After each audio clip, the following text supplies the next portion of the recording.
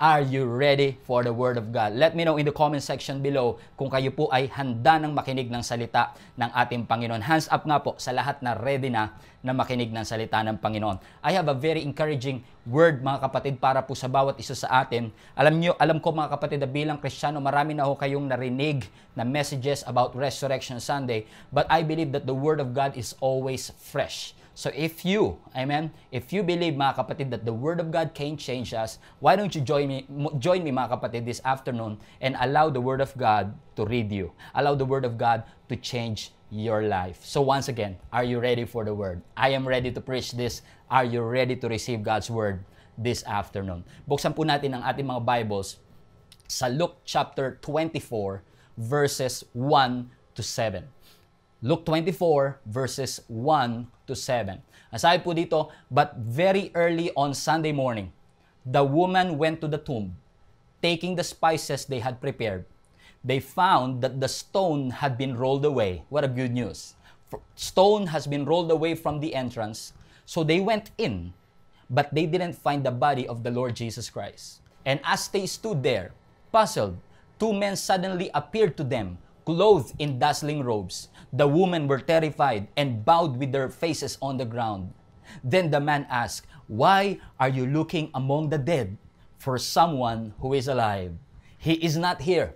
He is risen. Can you comment that down below mga kapatid? If you believe that Jesus is alive, He's not here. He is risen from the dead. And remember what He told you back in Galilee, that the Son of Man must be betrayed into the hands of sinful men and be crucified, and that he would rise again on the third day. I would like to talk to you about on this subject, He is risen.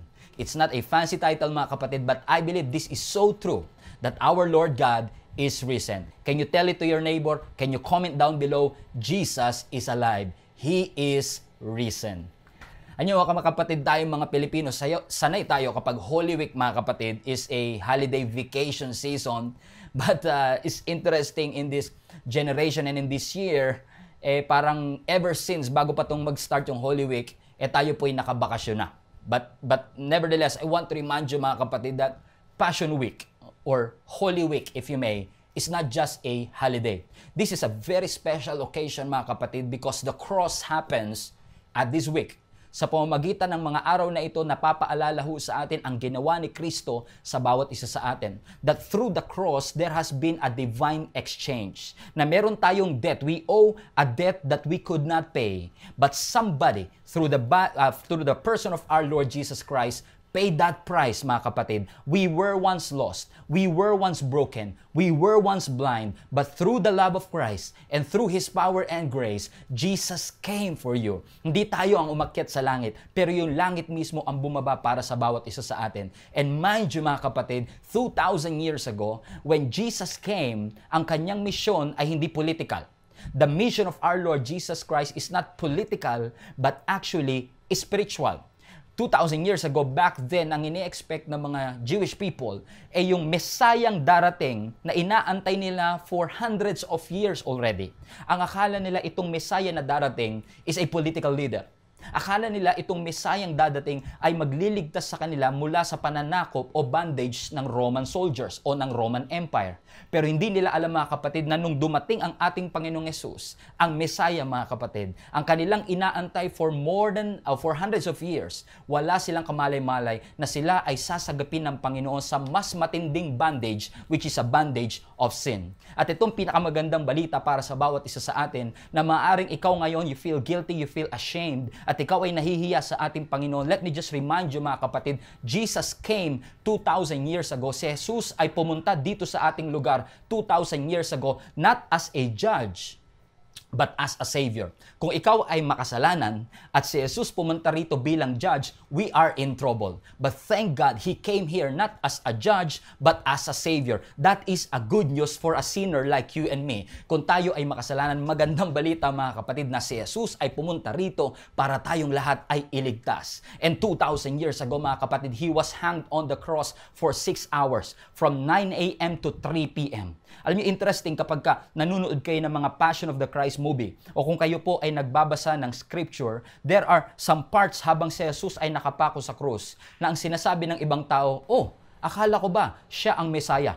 Oh, akala ko ba si Jesus na yan ay Diyos? Bakit hindi niya kayang iligtas ang kanyang sarili? Na ang tanong ng mga taong nandoon siguro sa kanilang isipan or even the disciples marahil, ang kanilang iniisip, why is he not doing anything? Kung siya talaga ay Mesaya, nagpagaling siya ng mga bulag pinalakad niya ang mga pilay, and even si Lazarus na patay, binuhay niya. Why can't he save himself? Why is he not doing anything? Bakit wala siyang ginagawa? And maybe at this point in our life, pwedeng iniisip ninyo, bakit nga ba ang Diyos parang walang ginagawa sa COVID-19? Parang ang Diyos, bakit hindi niya ini-exercise yung kanyang kapangyarihan sa nangyayari sa ating mundo? Let me just remind you mga kapatid, I know alam niyo na to, but let me just remind you this. God is always intentional. Everything has a purpose. I say that again. God is always intentional. Can you put that in a comment section? God is always intentional. I cannot see your face, but I can see your comments. Can you leave a comment down below? God is always intentional. Everything has a purpose. Watch this, watch this. So, when He does something, He has a purpose. And when He does nothing, He has a purpose. It may look nothing to you, It may look like a dead end. Kung ang sitwasyon mo may look nothing to you. It may look like hopeless to you. It may look like a dead end to you. It may look like an, an, impossible situation. It may look like that God is not doing anything about this virus. But let me just tell you this mga kapatid, praise the Lord because it may it may look nothing. Praise the Lord because it may look nothing but God is doing something. He has a purpose ang, ang, ang challenge sa atin ng ating Panginoon in times like this is to always be faithful and trust God no matter what. Kung si Abraham ay nagantay ng 25 years at kailangang maging 100 years old pa siya bago, bago ipanganak si Isaac, ang promised son. Kung saan si Noah mga kapatid ay nagantay ng 120 years to build the ark and for the flood, flood to came. Nagantay si Noah 120 years. Ang mga Israelites nasa journey in the desert for 40 years. And actually, if you read the Bible, talagang sinadya pa ng Lord na padaanin sila sa long route going to the promised land. Which made me realize mga kapatid, all the more na kailangan tayong magtiwala sa ating Panginoon because God has a purpose for everything. Kung may ginagawa ang Diyos, may purpose ang Diyos. Kung walang ginagawa ang Diyos, meron pa rin purpose ang Panginoon. Sometimes, God will change your route to change your heart. Sometimes, idadaan tayo ng Panginoon sa mga masalimuot na parte ng ating buhay kasi gusto tayong baguhin ng ating Panginoon. And there Jesus is. There Jesus was. 2,000 years ago, He was crucified for 6 hours. But finally, after 6 hours, He finally cried out. See that? May purpose eh. He finally cried out, Tetelestai! It is finished. It is done. Actually, sa mas mababaw na English, it's a done deal. It's already done. Parang kapag ikaw ay nagpapaaral at yung anak mo graduate na, Tetelestai, it's done. And I believe that phrase, it is finished, is the greatest proclamation ever made to man. I don't know about you, but I believe that is the greatest proclamation ever made to all of us. Who would have thought, mga kapatid, na yung sinabi ng ating Panginoon na it is finished, yung tetelestai, mga kapatid, will echo, amen, will continue to echo all around the world. Hanggang ngayon mga kapatid, more than 2,000 years later, we are still uh, hearing that phrase, it is done, it is finished. Why mga kapatid? Yung salitang it is finished, yung salitang done deal, it is done, ang mga salitang ito ay reminder that all sufferings will end. It is a reminder that all hardship, gano'n man kahirap ang buhay, this too shall pass. It will end. That is a that is a bad bad day. That is a bad day 2000 years ago. It was a horrible day. Jesus died on a Friday, by the way. And, and we call it Good Friday. I, I don't, I, actually, kung ako lang masusunod, nung una, I don't want to vote na pangalanan siya Good Friday. It was a bad Friday. It was a terrible Friday. It was a horrific Friday. Mas maganda yata yung horrible Friday. Because Jesus died on that day, Friday. But you know what? It's called Good Friday. Listen to me, this is a revelation. It's called Good Friday because it led to Resurrection Sunday. At ang binasa natin kanina mga kapatid sa Luke 24, on a Sunday morning, ang sabi ng angel dun sa mga young women na pumunta dun sa tomb, why are you looking for the, why are you looking among the dead for someone who is alive. Ang sabi ng angel, He is not here. He is alive. Yung title natin ngayon, Jesus is alive. He is risen from the dead. That itself is a revelation. That itself, mga kapatid, is a phrase that some of you needed, mga kapatid. Your God is not dead. Jesus is not dead. Hindi sinabing Jesus was alive. He is alive. At present, buhay ang ating Panginoon. The tomb is empty. Magandang reminder na naman mga kapatid. Ang mga building ng church ngayon empty but the tomb is empty as well. He is not here. He is risen mga kapatid. Ibig sabihin, lahat ng Good Friday may lead to Resurrection Sunday. The crucifixion doesn't end in death. Crucifixion ends in resurrection. The weeping may end in joy. The mourning will turn into dancing. The dark God, God will bring you from darkness to light, from labor to favor, from death to life, mga kapatid. From lack to abundance, from sickness to health, from bondage to freedom. God will bring you to places that you've never been because through the resurrection of our Lord Jesus Christ, pinapaalala sa atin ng Panginoon, ang Diyos ay makapangyarihan and He has a purpose for everything. Ano mang Good Friday moments na pinagdadaanan natin, loss of a loved one, relationship issue, hindi po natatapos dyan ang lahat. May Resurrection Sunday, mga kapatid. There is a time, mga kapatid, where we will experience God's generosity, God's provision, God's healing, and God's power. Ang Resurrection Sunday ay nagpapatunay ng kapangyarihan ng ating Panginoong Yesus. The resurrection proved His deity. If you think about it, that cross shows Jesus as a man. But the resurrection showed us that Jesus is God. You have to be reminded, your God is alive. Your God is risen. The King is alive. And the gospel is not a gospel without the resurrection. If there is no resurrection, our declaration of Jesus is worthless. It's meaningless. In fact, kung si Jesus hindi nabuhay na maguli, He will lose His credibility. Amen? And we all know that. But the big question is this.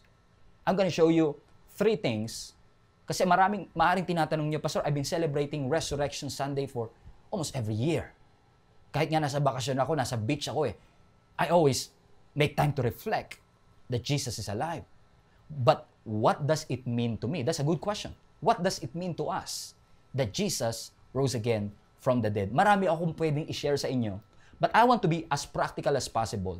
So I want to show you three things, mga kapatid, na pwede pong maipaalala sa bawat isa sa atin. I, show, I say that again.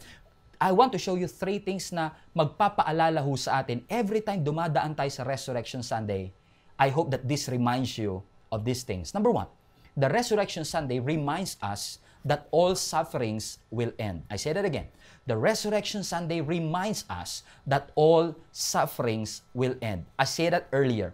All Good Fridays, all the sufferings, all the pain, all the sickness through our Lord Jesus Christ will experience transformation, will experience resurrection. Anumang dry bones, anumang dead situation, dead goals, dead passion in your life, all Good Fridays will lead to Resurrection Sunday. All trials will lead to triumph.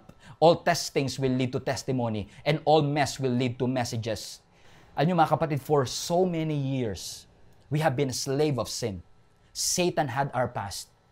Tayo kinonquer ng ating emosyon, ng ating kaaway at ni Satan. Satan had our past. But with God, your future is bright. I say that again. That's a good news for some of you. Your future is bright because of Jesus Christ. When we look back on our history, when we look back on our past, huwag kayong lilingon sa nakaraan bilang inyong destination. No, that's not your destination. Your past is not your destination. Your past could be your inspiration but not a destination. Your past, again, your past is not your destination. It will be, it can be your inspiration. Bakit mga kapatid? Mas ma-appreciate natin ang Resurrection Sunday dahil sa Good Friday. Right? So we appreciate the resurrection because we see Jesus, we saw Jesus died on the cross. That's why we're so happy. That's why we're celebrating because Jesus was dead, but now He is alive. So ganun din sa ating buhay mga kapatid. Your story is better when you experience struggle. Ang kwento natin mas maganda kapag may mga Good Friday moments. At kapag naka-experience tayo ng Resurrection Sunday, ng resurrection moments na ating buhay, we will tend to uh, appreciate God more because of His power and His grace. Ibig sabihin, kung may peklat ka man mga kapatid, yung peklat na yan has a story to tell. Lahat ng peklat may kwento. Yung peklat ko dito may kwento. At kung ikaw ay may mga scars in your life, battle scars, o maaring emotional scars, all of these things mga kapatid has a story to tell. Pero what what made a good story mga kapatid is the struggle that we face is the pain that we've experienced. Naalala ko nung ako'y bata pa mga kapatid, madalas akong mabigyan ng medalya. No? Um, parang hindi yata agree iba sa inyo. Duda yata kayo. I mean, lalo nung elementary ako, halos uh, every year, no, meron kaming uh, medal na natatanggap and meron tinatawag na recognition day kung saan sasabitan ka ng medalya ng iyong mga magulang. It was a proud moment. It is a proud moment. Kapag ikaw ay sinasabitan ng medalya ng iyong magulang. Tag nyo nga yung mga kaibigan nyo na nakaranas na na masabitan ng medalya. Amen? Hindi tansyan, ha? Tunay na medalya. Amen? So it's, it was a it is a proud moment kapag sinasabitan ka ng medalya. Hindi lang sa magulang mo, kundi ikaw mismo. Pero yun, nung, nung, nung nag-college ako at nung nagkatrabaho na ako at one time na ngailangan akong bumili ng medal para sa, I don't know, kung for some reason, And pumunta ako dun sa binibilhan ng medalya, nagulat ako kasi yung medalya pala, ang presyo lang 10 piso isa. Actually, kung, kung wholesale pa nga, makakabili ka ng sa islang.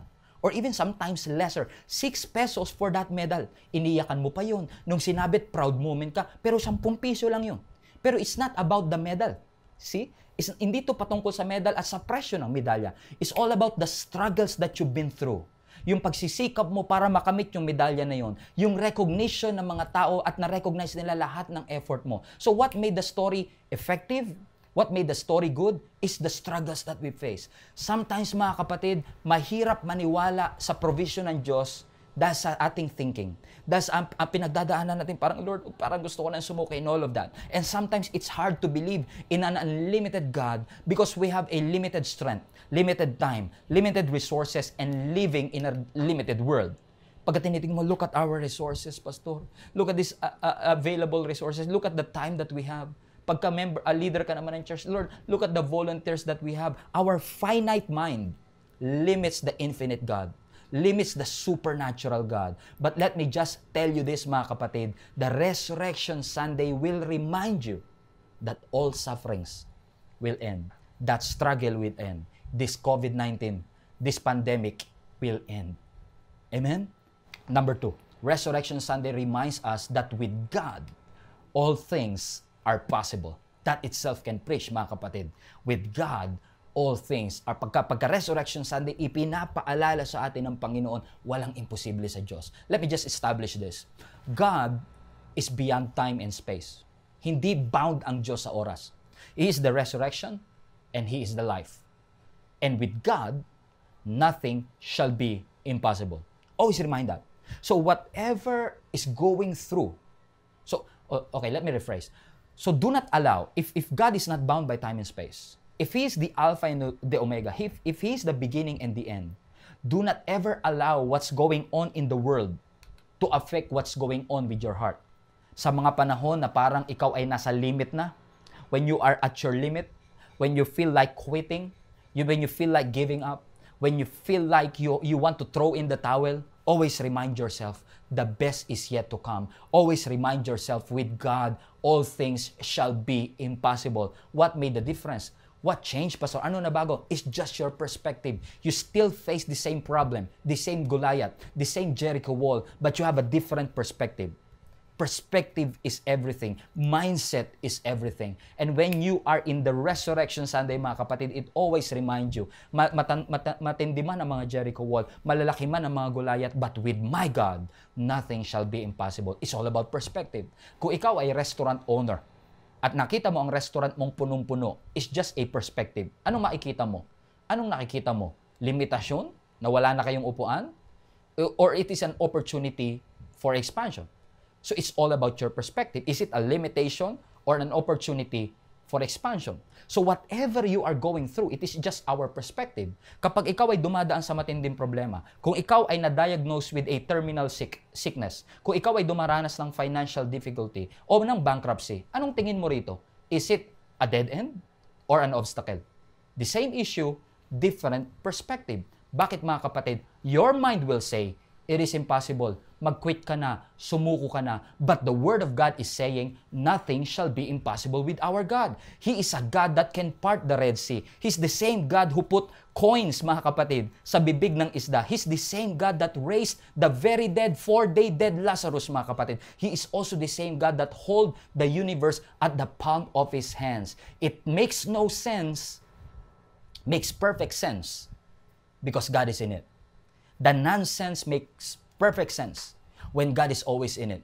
A- a- ang fear, nalilimitahan tayo. Ang doubt, nalilimitahan tayo. Ang worry, nalilimitahan tayo. In fact, the sin in our heart will limit you.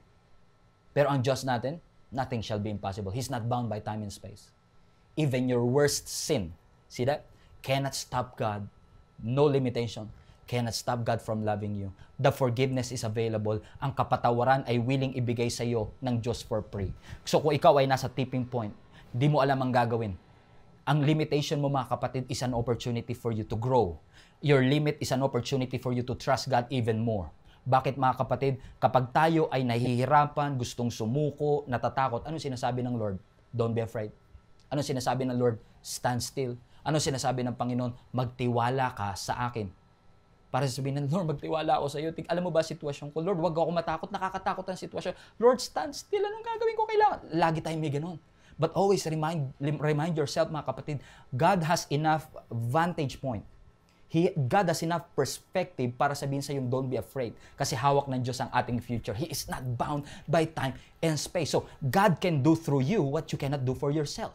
So, kung hindi mo kayang gawin, kayang gawin ng Panginoon sa pamamagitan mo. Ano mga kapatid, I have never thought na ako'y gagamitin ng Lord para magsalita. Not just 200, but literally thousands of people. I cannot imagine that this is going to happen. I cannot imagine na tatayo ako sa inyong harapan.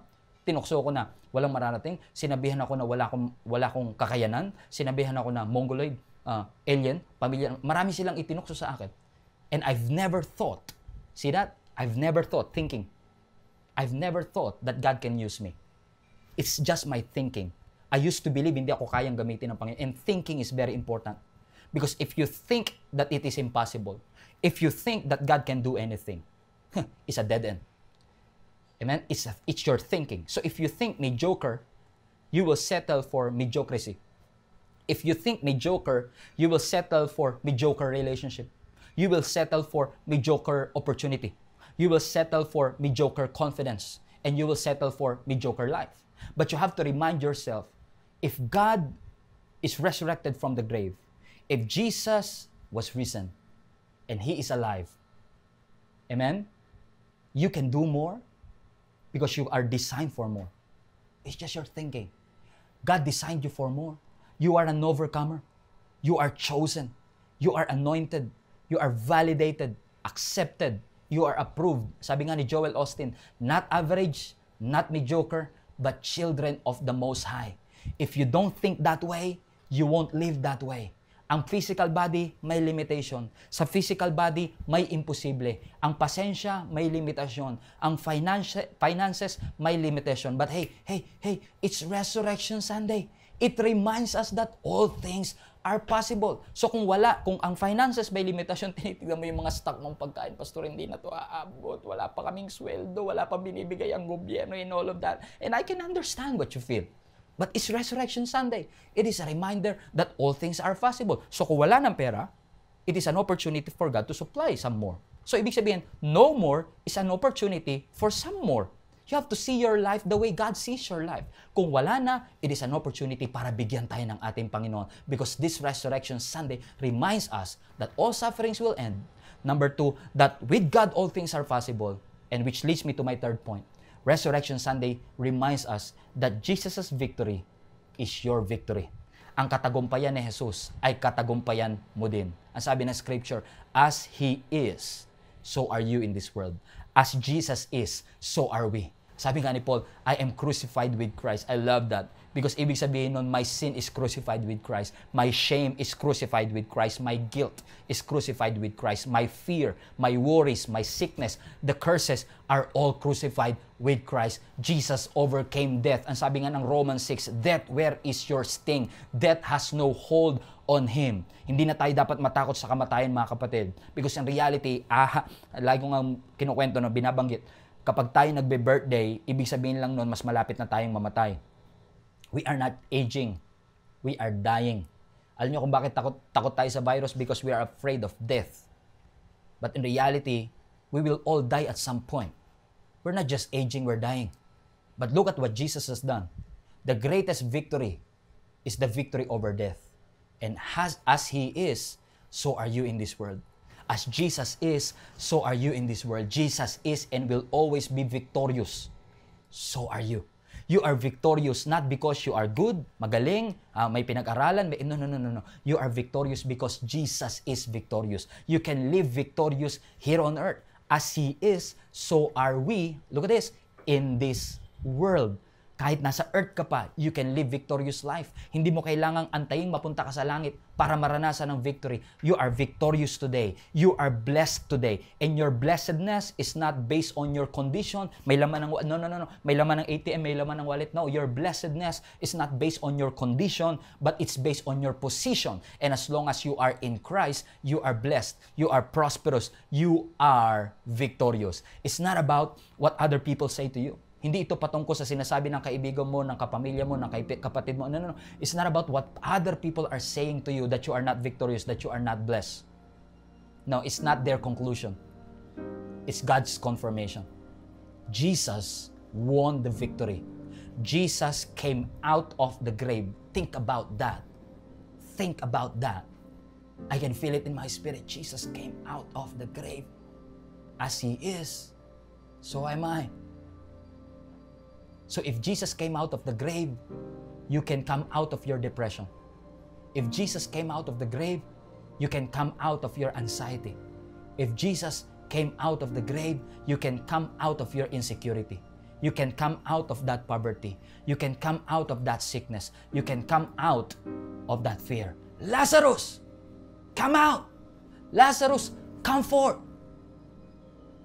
Jesus overcame the grave you can overcome whatever circumstance. You can come out of this COVID 19 unharmed. You can come out of this fire unharmed. Pastor, hindi ba arrogance? No, no, no. His victory is your victory. His death is your victory. His death is our victory. His victory over death is my victory over sin. His victory over death is my victory over my financial struggle. His victory over death is my victory over sickness. His victory over death is my victory over struggle. His victory over death is my victory over pain, over poverty. Whatever circumstance I am in, as He is, so am I. This Resurrection Sunday reminds me that Jesus' victory is my victory. And before we end, bago tayo pumunta sa ating communion, pupunta po tayo sa ating communion just a little bit. Maybe you were asking that question, Pastor, I want that three things. I want to be reminded that all sufferings will end. I want to be reminded that nothing shall be impossible to God. I want to be reminded, Pastor, that Jesus' victory is also my victory. What must I do? Anong pwede kong gawin para maranasan ko ang lahat ng bagay na ito? That's an interesting question because if you read your Bible, you, you will be reminded about this rich young ruler who asked the same question. I want that eternal life, but what must I do? I want to experience the abundance, but what must I do? Can you imagine this? He's rich, young ruler. Wala ka nangihingin eh. Rich, mayaman. Young, you have the you have the strength. And you are a ruler, you have authority. Ano pa bang kailangan mo? And yet this abundance, this power and this in this youthfulness cannot satisfy him. So he's asking the question, what must I do? Or maybe if you are a Christian, you are asking the question, what can I do para ipakita ko sa Lord na mahal ko siya? Ah, ah, kailangan ko bang kumanta ng mas malakas? Mag-fasting ng mas matagal? Magbasa ng mas maraming chapters sa Biblia? No, my friend. No.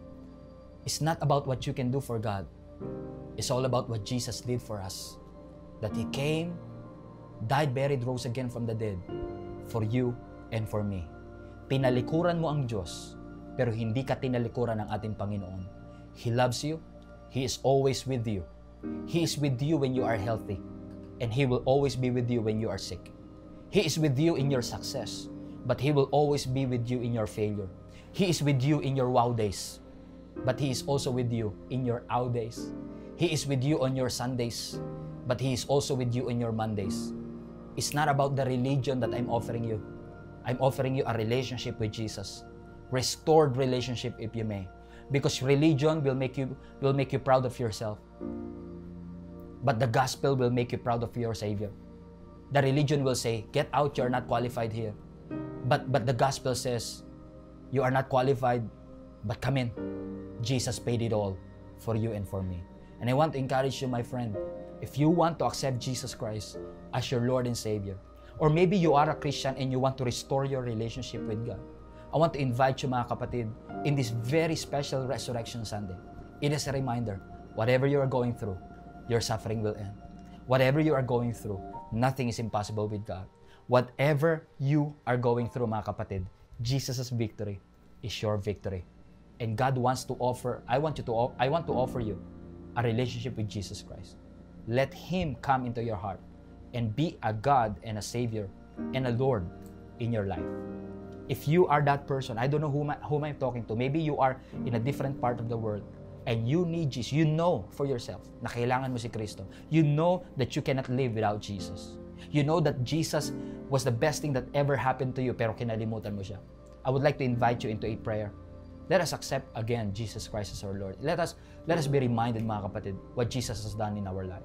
So if you want Jesus to be the center of your life, if you want Jesus to be the driver of your life, I want to encourage you mga kapatid, right at this very moment, to accept Him as your Lord and Savior. Kung ikaw to kapatid, wherever you are, nakaupo ka sa sala mo, wherever you are mga kapatid, I want you, ngayong araw na ito, to pray this prayer, repeat after me, and pray it, say it like you mean it.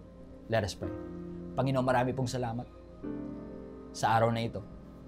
Salamat dahil alam ko na ikaw ay mapagmahal. Binigay mo ang iyong sarili para sa akin. Sa oras na ito, I acknowledge makasalanan ako at hindi ko kayang iligtas ang aking sarili. Sa oras na ito, nagdesisyon ako na buksan ang aking puso, pumasok ka, at maging Panginoon ng aking buhay. Marami pong salamat sa pangalan ni Jesus. Amen. And if you pray that prayer, I believe you got born again, mga kapatid. What a wonderful, amazing time. And if you pray that prayer, will you send us a message, maybe send us an email, send us a picture, or leave a comment below because we want to celebrate with you. If you are a Christian, mga kapatid, let us clap our hands and celebrate for these people of everything that Jesus has done. This Resurrection Sunday reminds us, walang kahit anong kasalanan ang pwede makapagpahiwalay sa atin sa Panginoon. Kasi ang Diyos lagi nagaantay sa ating muling pagbabalik. Pwede po ba ninyong itaas ang inyong dalawang kamay and receive the blessing from our God? Now the God of hope fill you with all joy and peace in believing that you may abound in hope through the power of the Holy Ghost. Each day and each night that you place yourself under His keeping, I declare You shall not be forgotten. You shall not be destroyed. You shall not be imprisoned. And you shall not be harassed by evil powers. Altogether, sabayan po ninyo ako. Bless this house and those within. Bless our giving and our receiving. Bless our words in our conversation. Bless our hands in our recreation. Bless our sowing in our growing. Bless our coming in our going. Bless all who enter and depart. Bless this house your peace impart. The Lord will watch over you from this time and forever. May the love in your hearts give you joy. May the greatness of life bring you peace. And may your days be good, lives be long. The Lord bless you and keep you. Make his face shine on you. Be gracious to you. Turn his face toward you and give you peace. And may the blessing of God Almighty, the Father, the Son, and the Holy Spirit be among you and remain with you always. In Jesus' name we pray. Amen. Thank you so much for joining us mga kapatid. Once again, I want to invite you live right now, GSCMNB family, para sa ating Facebook Live group discussion. Pagpalain kayo ng Panginoon, see you again on Sunday. Punuin natin ang langit. Let us fight for our family.